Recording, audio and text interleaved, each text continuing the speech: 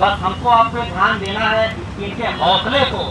हमें गिराना नहीं है कि हमारे आपके संख्या बल की वजह से इनका हौसला टूट जाए और इन ना चाहते हुए कुछ खा लें और भूख हड़ताल हमारा खत्म हो जाए। जब जैसे जब तक ये भूख हड़ताल पर बैठे रहेंगे, निश्चित रूप से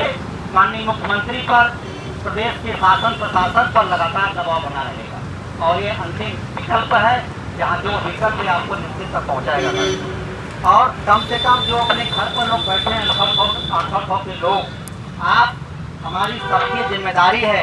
सब बहनों की ज़िम्मेदारी है, जो यहाँ बहनें बैठी हैं, इन्हें कड़ाके की ठंड में बहुत धन्यवाद की पात्र है, लेकिन विशेष अनुरोध करूँगा कि जो घर पर बहनें बैठी हैं, जो भी जिनके कॉन्टैक्ट में है उनसे कॉन्टैक्ट करके यहाँ